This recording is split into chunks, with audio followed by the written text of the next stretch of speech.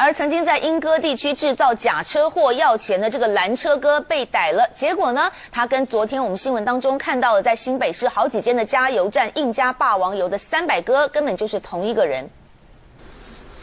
白色轿车开进加油站，丢下一句加满。等结账时，男子硬凹年轻店员听错，只愿意付三百块，却赚了满满的汽油。加也是这个啊。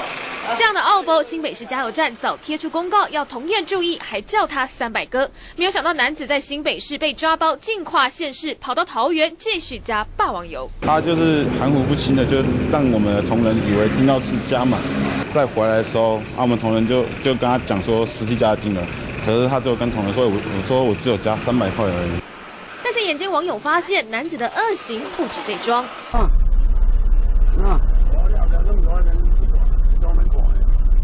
我，弄掉！我掉嘞，我叫警察来。我今麦叫警察来耶。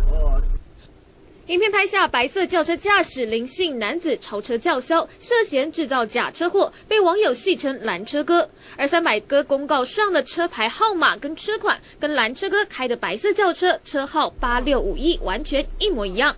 而男子也因为在桃园加霸王油，被警方逮个正着。那嫌犯是表示说，他当时确实只有说三百元，是龚福生误会他的意思。该名嫌犯呢，利用这个手法。在新北市以及龟山地区啊，共有目前共有四件案件。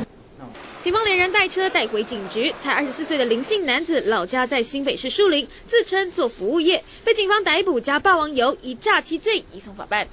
中天新闻台北桃园综合报道。